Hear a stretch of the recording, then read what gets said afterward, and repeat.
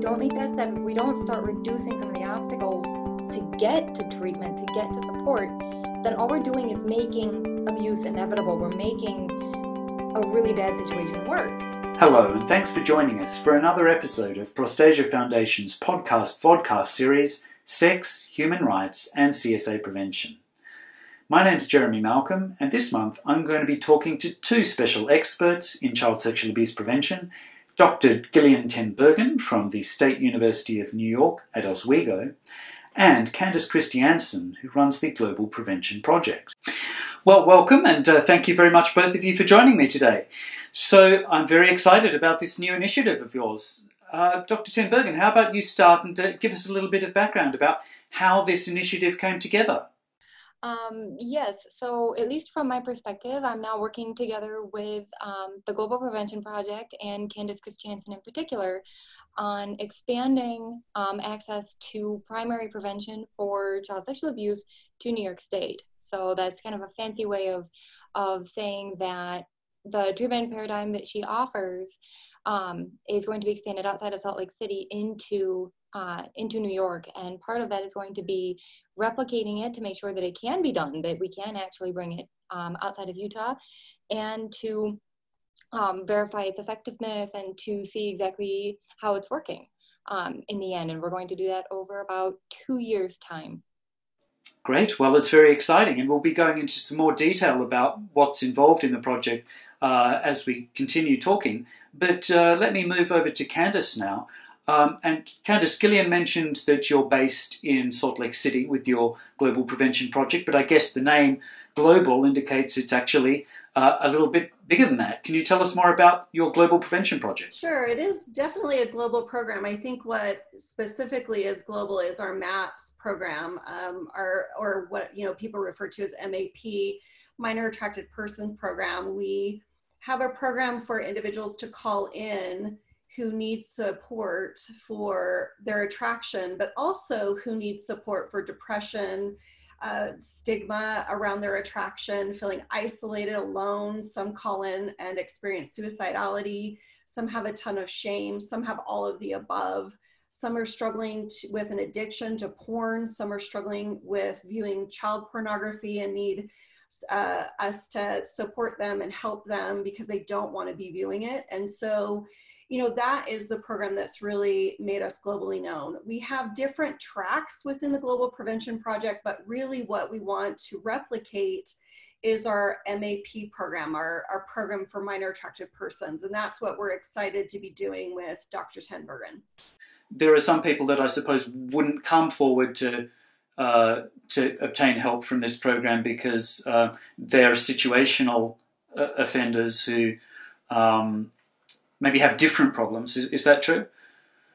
So our our individuals who are legally involved because they were situational offenders go into our other. It's still through the Global Prevention Project, but it's they go into that track, if you will. So they go into the legally involved track where we're providing sex offender treatment to them, you know, and just to kind of add on to my purpose for doing this was because people were coming to me that weren't sex offenders they weren't sex offenders. I have a background in working with sex offenders.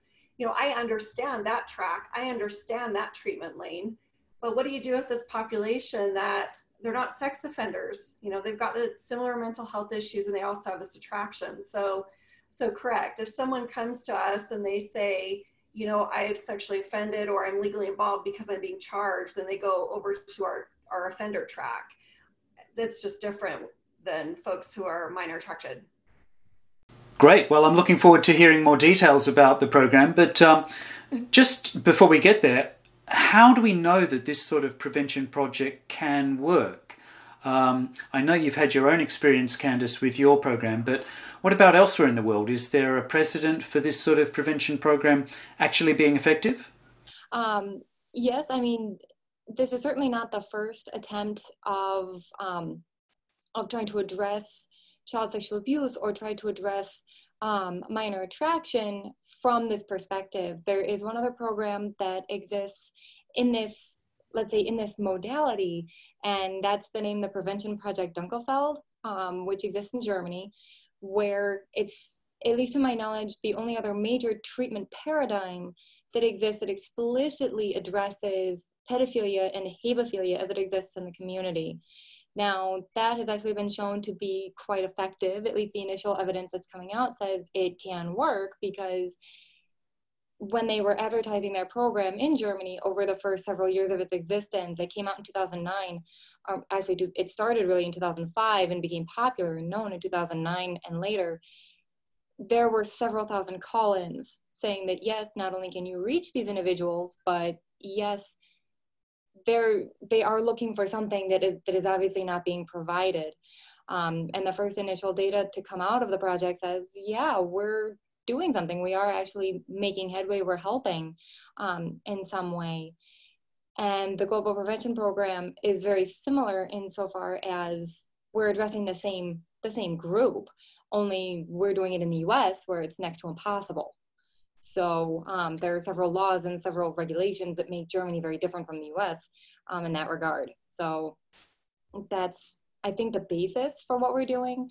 But again, what Candice herself is offering does differ to an extent from what the PPD does. Sure, yeah, I'm happy to do that because I know that the MAPs that will be listening, at least the ones that are very adamant about being anti contact and non offending, definitely um, have a reaction when we talk about the prevention project Dunkelfeld. And I do think there are, um, you know, that's Dunkelfeld definitely uh, blazed a trail in terms of, you know, offering this support to individuals who were in the dark field, if you will, um, those who have minor attractions that don't want to offend but need support, as well as those who had um, and needed some support. What makes us different right now is our MAP program uh, treats individuals who are not coming to us saying, I've offended, I've sexually offended against someone. So that's a difference. It's a big difference. We have programs within the Global Prevention Project for individuals who are legally involved who have committed a sex crime. Our MAP program is for individuals right now who are coming to us saying, I am isolated. I am alone. I feel like I want to kill myself. I am struggling with this stigma and this attraction. I have so much shame. I need to be able to talk to somebody. Now, some individuals, as I mentioned, reach out and say, I am struggling with viewing child pornography. I'm addicted to porn. It's moved into this. I don't want to be viewing this and I don't know who I can talk to. I'm scared if I go to a regular therapist that they're going to call the police and assume that because I'm a pedophile or a hebephile that I'm an automatic child molester. And so what we're saying is we hear you and we're here for you. You know, we believe that and, and research has come out. ATSA the recent ATSA conference had some excellent researchers from the Netherlands, from the United Kingdom, Dr. Lievesley and her team, Dr. Harper, um, you know, talked about how if we can help eliminate stigma and create support for minor attracted persons, it naturally, uh, naturally creates prevention. And so we know that there's research that is out there that says if we are providing just the support for minor attracted persons who are in need of mental health again support um, not because they're child molesters you know pedophilia doesn't automatically equal uh, child molestation um, but if we can help eliminate some of the stigma and decrease some of the shame we naturally are providing prevention. So, Dr. Tenbergen, do you want to add to that? Yes, just the idea that if the only thing we're addressing, if we advertise this or if we come off saying, oh, hey, we're here only for abuse prevention, that's only part of that's only part of the equation. Again, as many psychologists and, and individuals who are trained in treatment provision are very fond of saying, desperate people do desperate things in desperate times. And that goes for many, many, many different diagnoses. So it, it stands to reason that let's start treating minor attracted individuals the same way we would treat other human beings. If we don't make that step, if we don't start reducing some of the obstacles to get to treatment, to get to support, then all we're doing is making abuse inevitable. We're making a really bad situation worse. Um, so let's work on reducing that. And I think the biggest thing that we want to accomplish with this collaboration is simply how do you do that here in the US? So, remaining with you, Gilian, for a moment, um, you mentioned uh, some obstacles and some differences between the situation in the United States versus in Germany. Can you run us through some of those obstacles? The well, the biggest difference I'll say between doing this work here and having worked together with the Dunkelfeld project in Germany. Now, I was employed with a different project um, that was considered, let's say, the research sister to the Dunkelfeld project, but I worked very closely with um, the Dunkelfeld project while I lived there for seven years. And what I can say is mandatory reporting is the big difference, and it's the one everybody talks about. Because in Germany, the, the, the social perspective is that if a person is already in treatment and they've established a rapport with a therapist, it's better that that person stay in therapy and be gaining the benefits of that treatment rather than destroying the, the therapeutic bond simply to take that person out and put them through the criminal justice system. So, excuse me, in Germany, the ther- therapist client confidentiality is taken as seriously as in the US, lawyer client confidentiality, where it cannot be broken unless there is sufficient level of detail now, a therapist is actually obligated by law in Germany to not break confidentiality unless they have an, a known individual that they can, unless they have enough detail to be able to make a report. Like they know who that child is, they know under what circumstances, et cetera, et cetera. Otherwise, it's meant to stay between the therapist and the client because that treatment is, is thought to outweigh the benefit of the criminal justice system. That's the biggest difference and also one of the largest obstacles to work with here in the US because again, depending on your jurisdiction, it's easy in Germany because they can open 11 clinics because mandatory reporting is the same throughout the country. What is the situation there when it comes to mandatory reporting of people uh, for viewing child sexual abuse imagery? Uh, people who haven't uh, committed a, a hands on offence but who maybe have viewed these illegal images. Are they required to be reported? with the way the law is structured in New York, now this is based on my own understanding after um, several different conversations with treatment providers, lawyers, and other um, legal personnel here in New York State. But I will give the caveat: I am not a lawyer, so I, everything I can, everything I say from this point on, is not legal advice. It is simply my understanding of the law, um, and this will be built into um, anything we do offer here in New York. But my understanding so far is that if you are looking at indicative imagery or anything that is considered to be kind of this blanket term of child pornography, does not fulfill the criteria for um, mandatory for a mandatory mandatorily reportable offense, let's say here in New York State, because it does not contain a known victim, it does not contain um, information, like identifiable information that would be required to make that report to the, to the state central registry. Um, it is still criminal behavior, but from a mandatory reporting perspective to prevent child sexual abuse, it does not fulfill those criteria. Which means if you come into a clinic and you admit that, yes, I have looked at it, a treatment provider wouldn't be required to report you for child sexual abuse, but if anything were to be reported, it would be that you're looking at images because that is still a criminal offense. But because we're not looking at criminal activity in that sense, um, we can know that you're using it and still keep you in treatment. Now, if if you were to ever face you as in a, a client in this case, if they were to ever face um, judicial action. For example, if they were caught or if um, the police showed up and said, okay, listen, we have proof that you've been you've been looking at this. Well, then that's the point at which we need to switch over to the criminal justice system. Um, but we would be we would support the client in that process, but it would not come from us in that regard. So it provides us a bit of a of a gray zone to be able to still intervene and offer services to an ever growing group of individuals, um, before they just lapse into the criminal justice system. So let's turn back to to Candice. Um, uh, now, Gilian's given a, a, couple of obstacles that you've you've faced in this project. One of them is the mandatory reporting, and the other is the absence of funding. Is there anything else that you view as a challenge uh, to the success of this program?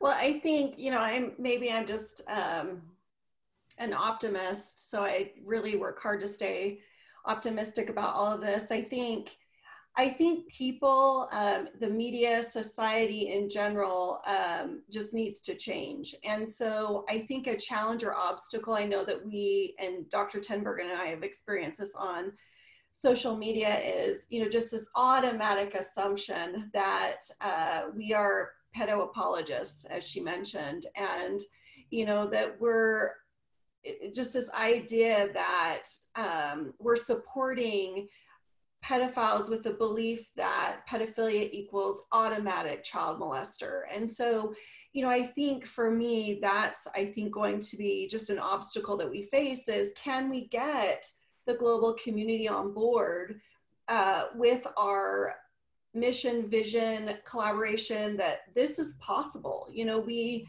that, that helping human beings who have an attraction that they didn't choose, that are also facing grave stigma, shame, depression that you know other individuals can go to a therapist with no question and get support for. Can we offer this and have society accept it? I think that for me is going to be the biggest challenge. So i but i remain hopeful because you know i am a childhood sexual abuse survivor and I always talk about this. I cannot have my own children based on the trauma that was I endured as an, an infant and young child to my body, the damage that was done.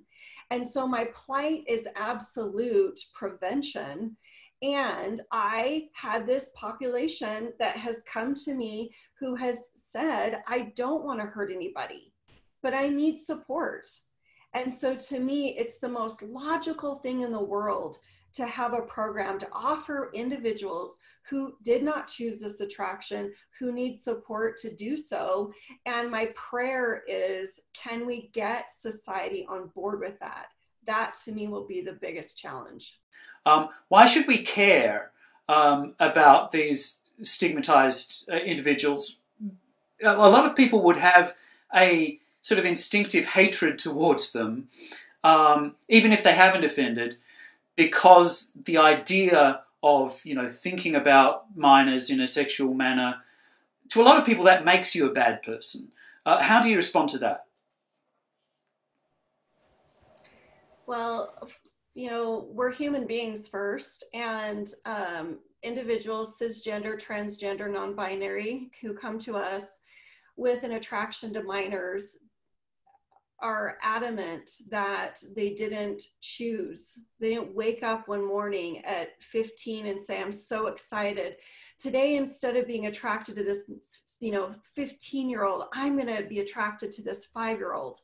You know, this isn't something that um, is wanted by uh, folks who identify as having a minor attraction, specifically pedophilia. And so, you know that's my response and that's a lot of uh, minor attracted person's response especially on social media. It's like okay here's our here's our response to you are hating what we're doing. You know this isn't something that's chosen. This is something that we were born with and you know there are biological underpinnings now that do show that and there continues to be research on that which is very very exciting and hopeful.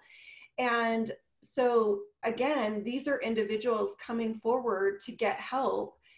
Why wouldn't I help them just like anybody else? You know, they're coming mm. to me.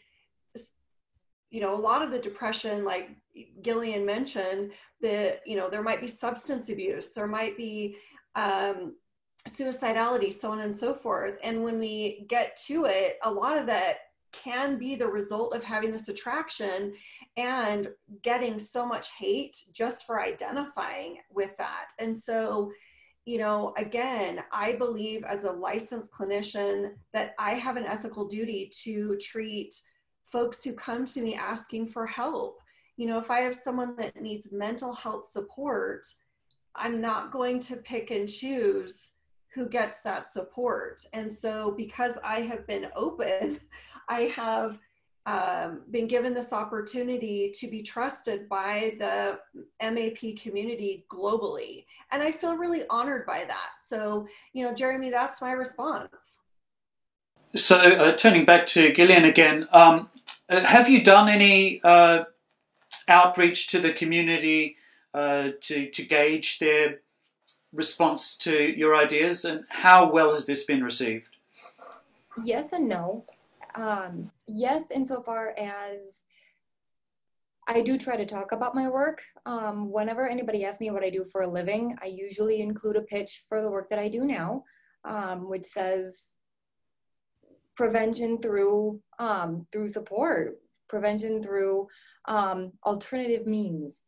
And I usually start out any conversation whenever somebody asks me what I do for a living, um, after I sort of give the lead in, oh, I do prevention work and I'm a researcher and psychologist, um, I'll usually gauge my audience and then see whether or not they're they're open to the more delicate, the more sensitive topic of um, child sexual abuse and prevention and pedophilia and so on. Um, and assuming they are, um, I'll usually ask them at some point the question, well, do you think we're doing enough right now, or do you think we're successful at preventing child sexual abuse?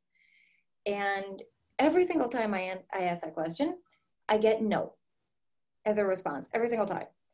And my natural follow up is, okay, well, what should we be doing differently? And more often than not, the response I get is, well, most of the prevention efforts now assume a victim before we intervene. So they're all criminal justice based, they're all after the fact.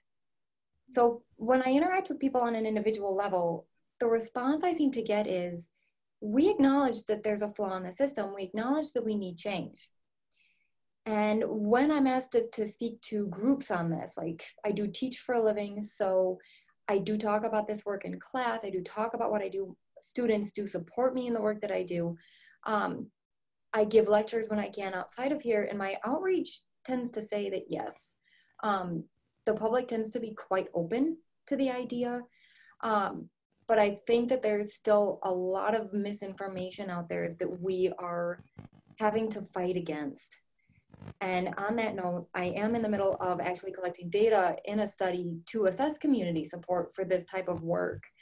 Um, I hope to be actually publishing that data or collecting the data through next year and then publishing it shortly thereafter.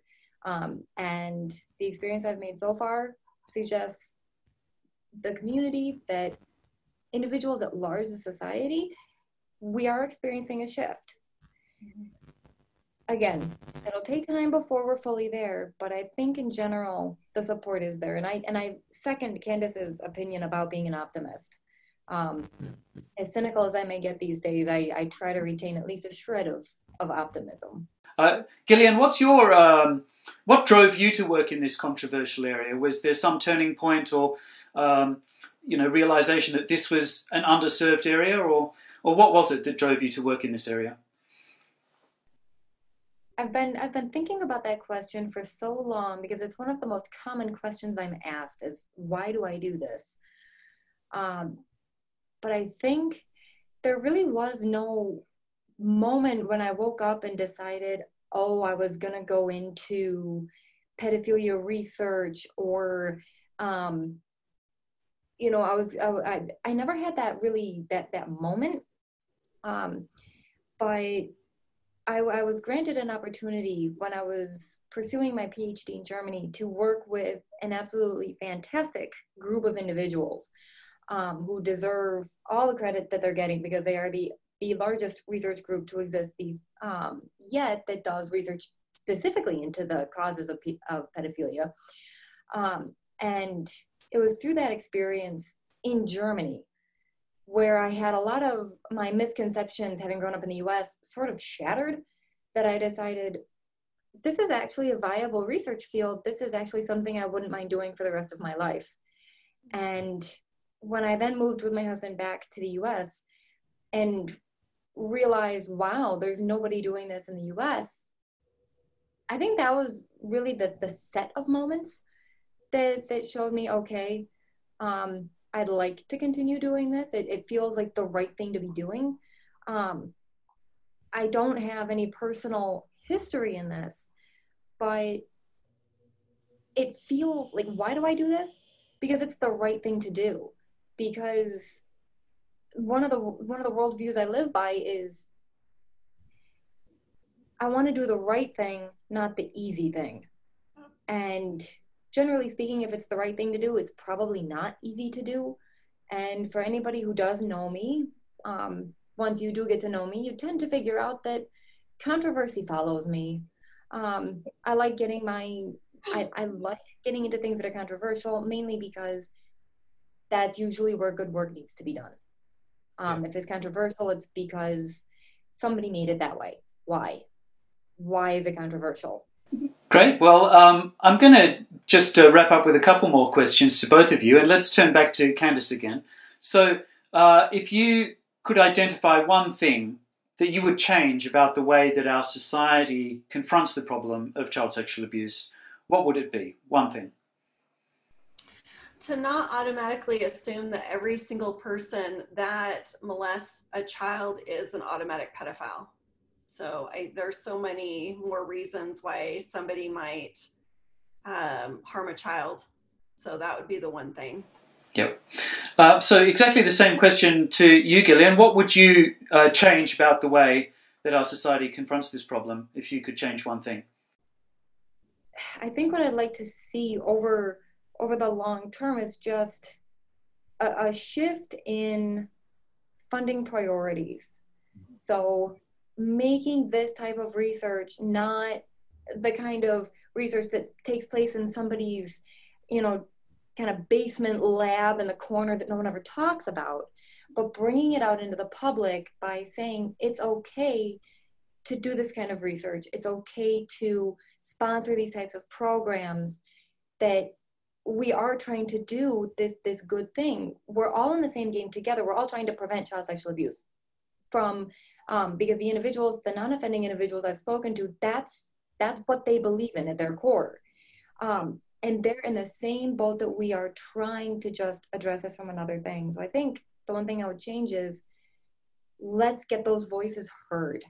Let's make them louder. Let's say we're all in this together. We're all trying to meet the same goal, but we need to do it from multiple different perspectives. And that's the only way we're ever going to actually address this this issue across the board. Well, uh, it's very exciting, and uh, I wish you all the best of luck. Uh, how can people find out more about your plans? We're going to slowly un, uh, reveal, if you will, in the new year what's going on, but it's just we're right at the beginning of it. And so, um, Twitter right now, you'll see us communicating, and then I would say probably spring or summer of next year, don't you think, Gilian? Maybe people will hear more about what we're doing. So Twitter is a good way to hear about it. Um, yeah. I will be updating my own personal website soon to include um, the research projects that I have going on with this, um, just so that individuals can learn more about the research questions that we're asking and find out ways to participate if they're interested. Um, and publications will be forthcoming. We have have a few that are um, that are in the pipeline now, so the general public will be hearing more about this um, over the course of the next several months, I think. Yeah. And we'll put, we'll put it on the globalpreventionproject.org as well. We'll be taking Gilian's lead on that as well. Great. Well, I'll be also including links to your Twitter profiles and your websites uh, in this podcast and vodcast. So uh, thank you very much. It's, as I said, been very exciting to hear from you about your plans. Uh, best of luck and, uh, and thanks very much for chatting with us. Thank you so much. Thank you.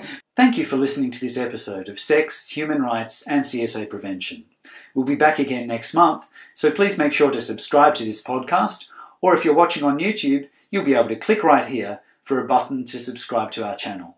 Please also consider donating to support our work. Thanks again for watching, and bye bye for now.